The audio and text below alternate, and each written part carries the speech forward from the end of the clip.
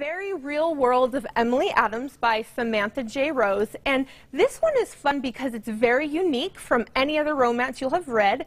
So, Samantha is a debut author who actually won one of the best indie books in 2020 with this book.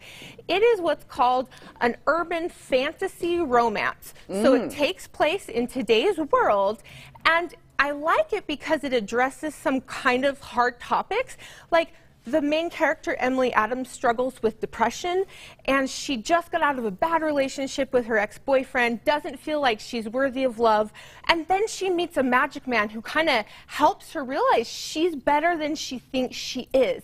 And then she thinks, could I actually deserve real love? There's hope out there. There is, and I love That's it. That's a good one. Yeah, and there's there's magic, and I have to say I love fantasy. So when you so throw that in there, fantasy, fantasy sci-fi, all that. That's wonderful. Yes. Okay, so that's the one in the middle. Yes, the okay. or the one on the side here, oh, the, the very side. real okay. world of Emily Adams. Okay.